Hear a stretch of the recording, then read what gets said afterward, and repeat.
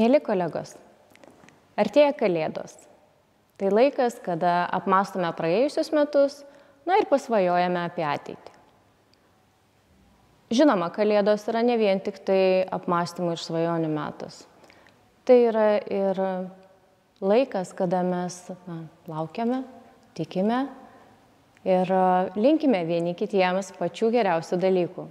Tai, mėly studentai, linkiu Jums lengvos sesijos, Gerbiami dėstytojai, linkiu Jums įdomaus ilgo skaitimo. Na ir mėly mūsų administracijos darbuotojai, būkite žvalus. Visiems gražių švenčių.